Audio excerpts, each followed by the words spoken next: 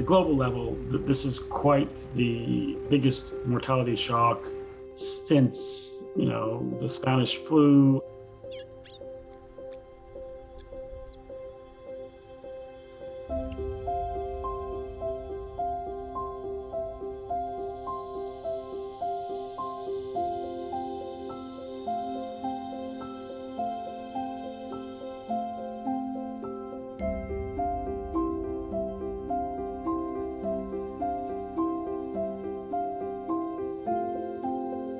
India's at the top, followed by uh, soon thereafter by the U.S., by Russia, the U.S., um, Brazil, Mexico. Uh, those are the ones at the, at the top of the list in terms of numbers.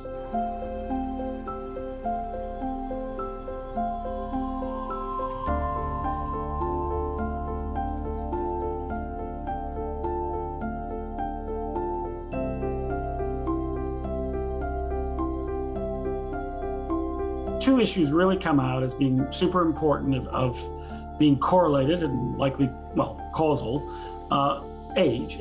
Age is just such an overwhelming risk factor for COVID that it's not surprising that older societies in North America and Europe and Eastern Europe have had much higher uh, COVID excess death rates.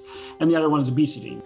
Reaffirm what's seen in the clinical data at the population level that obesity, countries that have high obesity, have really you know, had much worse excess mortality.